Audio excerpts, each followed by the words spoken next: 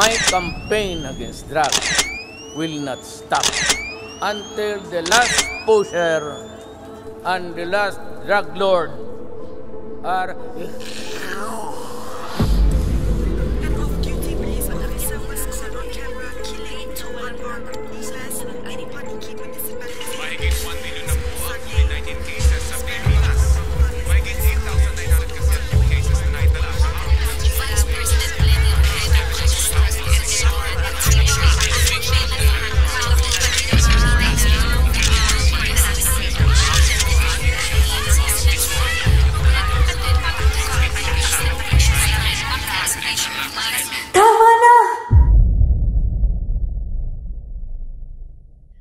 Kababayan, oras na para matuto tayo.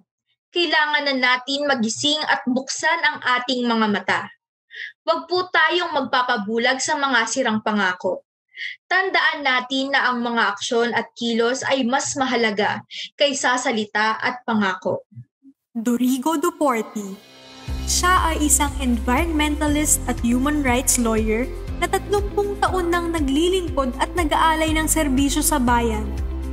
Nakapagtatag rin siya ng isang charity center. Siya ay mahabagin, matapat, at maunawain. Bukas ang kanyang isip at matibay ang kanyang pagkatao. Binibigyang diin ni Dorigo ang iba't ibang issue at problema at hinaharap niya ang bawat isa na may pantay na pansin. Lahat ng ito ay makikita sa kanyang mga programa. Programang Tank o Tuluyang Alagaan Natin ang Kalikasan. Ang programang ito ay itinatag ni Dorigo upang bigyang diin ang Republic Act 9003, kilala bilang Ecological Solid Waste Management Act.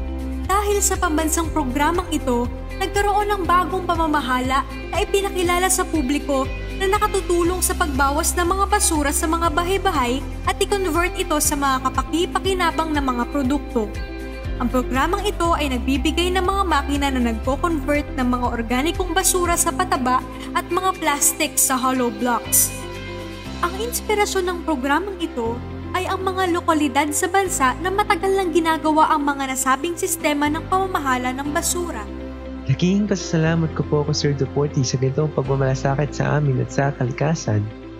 We are very thankful for the TANK program and we will continue to support this initiative.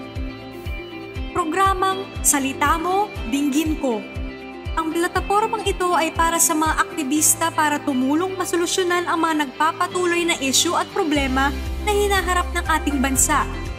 Ang interaksyon ng gobyerno at taong bayan ay nagaganap kada tatlong buwan.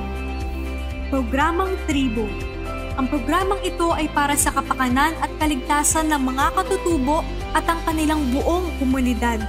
Ang tribo ay para din bigyang proteksyon ang kanilang mga karapatan.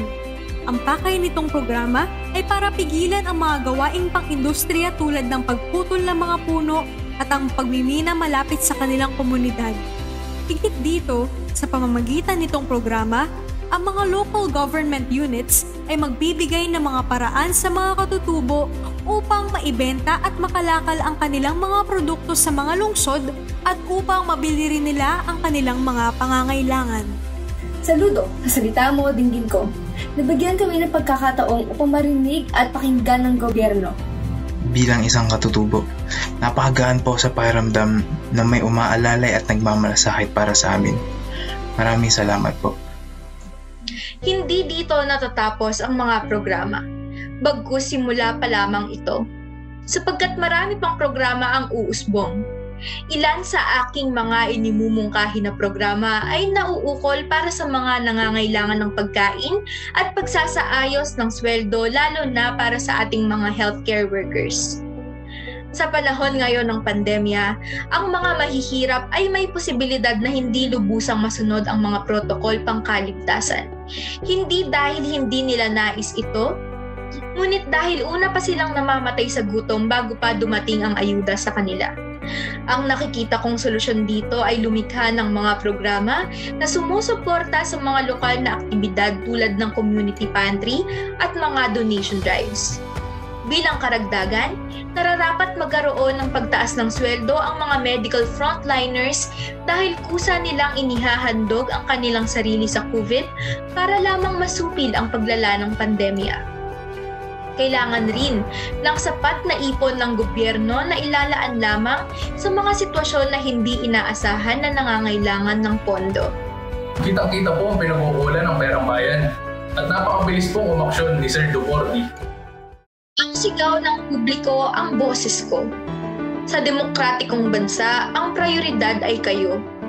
Kung ako ang mananalo, ipinapangako ko ang pangmatagalang pagbabago at mabilis na pagresponde sa mga isyong panlipunan. Makakamtan ang kalinga at aruga ng isang ina. Kung ako ang mananalo, patuloy kong ipaglalaban ang katarungan at pagkakapantay-pantay ng mga mamamayang Pilipino. Hinding-hindi ako mag-aalinlangan sa pagbibigay ng makataong pamumuno at serbisyong walang halong biro.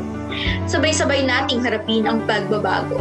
Dahil ang kinabukasan ay mabuti. Kay Duporti. Kay Duporti. Kay Duporti. Kay Duporti. Kay Duporti. Kay Duporti. Dahil ang kinabukasan ay mabuti kay Duporti. Number 4 sa balota.